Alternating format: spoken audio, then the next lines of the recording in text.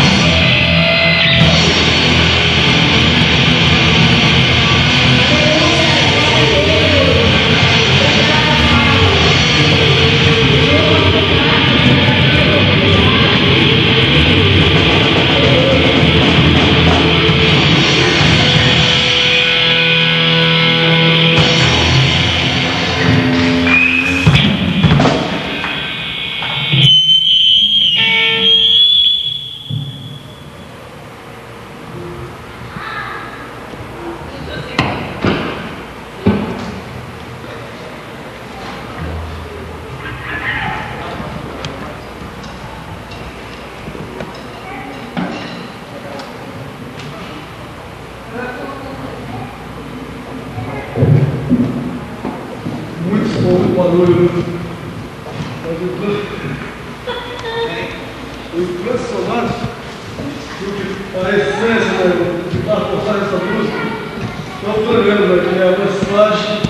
né, que é a inscrição, está até em inglês, né, Deus fala. porque eu já conheci a, alguns que ouviram uma música em inglês, é, nesse estilo, é, sem sacar de inglês, se converteram. Nos, nos estilos mais brutal, como o das brancas. Então, é algo tremendo.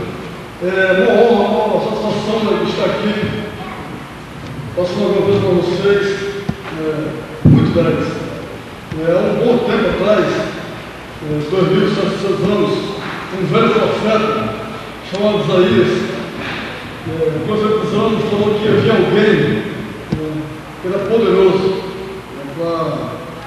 que o seu governo, o governo dele, o seu governo de paz, estava sobre os seus que ele era Cristo da paz, conselheiro, Deus forte, maravilhoso. Ele profetizou muita coisa. E hoje, 2010, a gente está aqui falando do forma de Deus, de Jesus, do Espírito Santo, expressando na forma cultural, através da música, né, a mensagem de Deus. Então isso é tremendo. Eu queria falar um pouco aí, né, assim, do que Deus tem feito.